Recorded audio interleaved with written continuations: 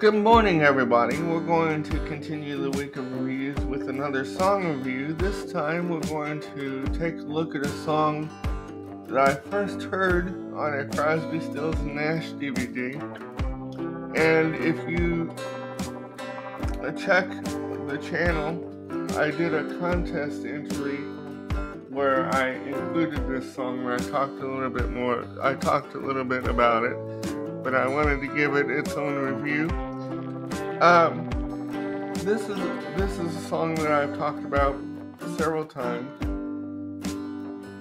That I first heard on a Crosby, Stills and Nash um, video, and then I bought the its DVD counterpart. But the video was um, Crosby, Stills and Nash, the acoustic concert, and uh, one of the songs from that is a song of Graham's called Try to Find Me. And I, um, it is a very, very, very special song to me. Um, and it is a song that Uncle Graham, that Graham wrote in response to the very first Bridge School benefit concert. Um, the story goes, and I can I can tell the story in my sleep. Crosby, Stills, Nash Young were performing, were were playing, and Graham saw this little boy and girl in the audience and the little girl started to get upset because she wanted to get out of the concert, you know, because it was too loud or something or whatever. And um, so the little boy that was sitting next to her in his wheelchair took the time, and this is uh, this is the most moving part about about the whole about the whole story is that he took the time to hold this little girl's hand and he made her stop crying. And in that moment the song was born.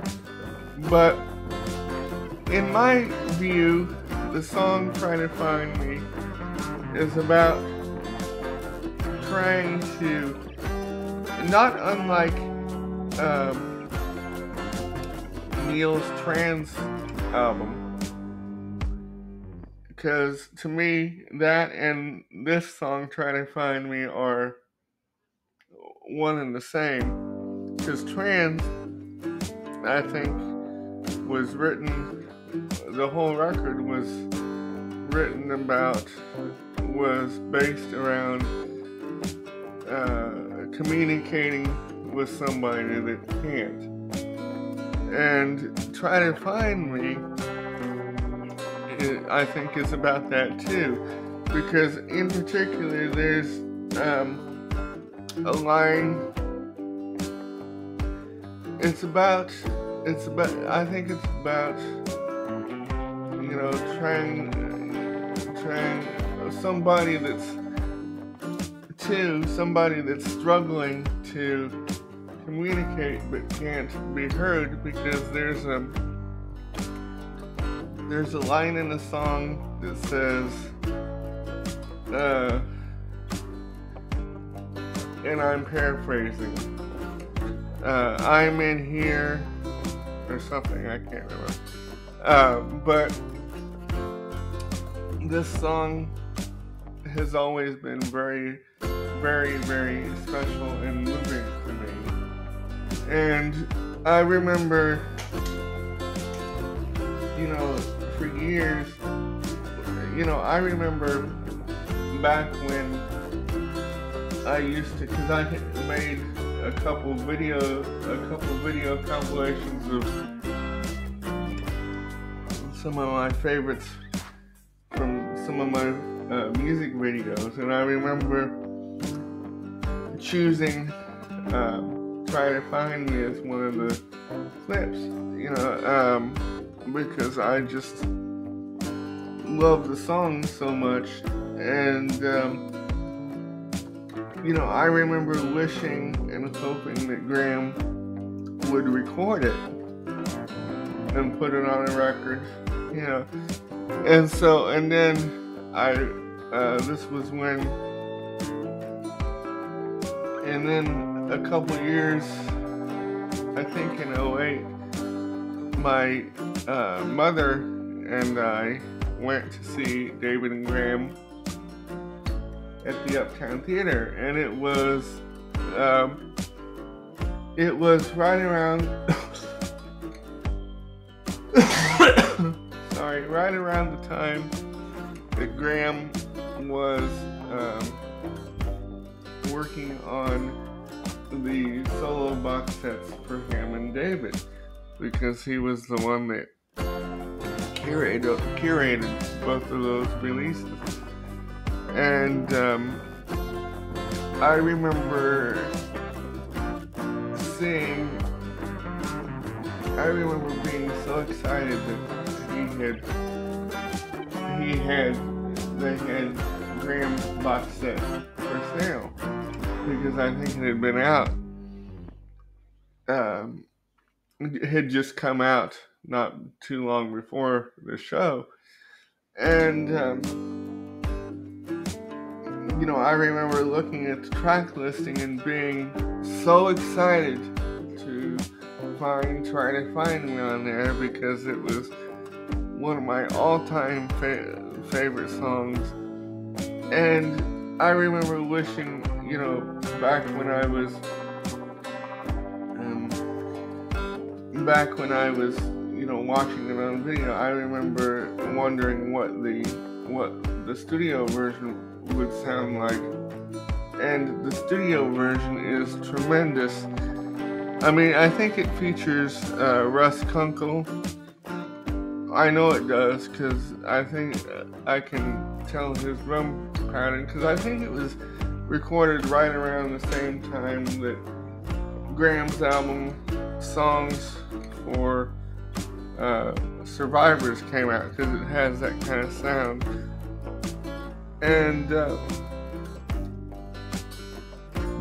it um, it all it also features I think Dean Parks in spots, and um, it's just a tremendous version, and it's one of those songs that I just love to pieces.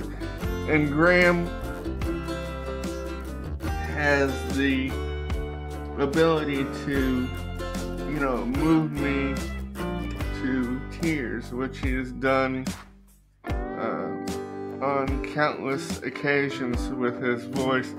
And Try to Find Me is one of those songs where it's so emotional to me, sometimes I can't get through without, you know, without crying. And actually, every time I, every time I jam to it, I always dedicate it to Ben Young, Neil's uh, Neil's son, along with um, along with you know uh, when I do Transform Man, I always do that for Ben too. And I remember um, when Mom and I went to see Graham when he was out on his on um, out on one of his solo tours uh, a couple years ago. I remember calling calling for trying to find me, but he didn't he didn't do it. And I remember um, I wish I would have remembered to mention something to him when I met him in 2012 of how you know how much that song meant to me and um, and I was hoping that I would be able to, I would have been able to talk to him again when I saw him at his, you know, when I saw him by himself, because I would have mentioned it to him then, but I didn't get a chance to. Um, but I urge everybody to check this song out because it's very, very, very moving, and you will love it. And I hope you love it as much as I do.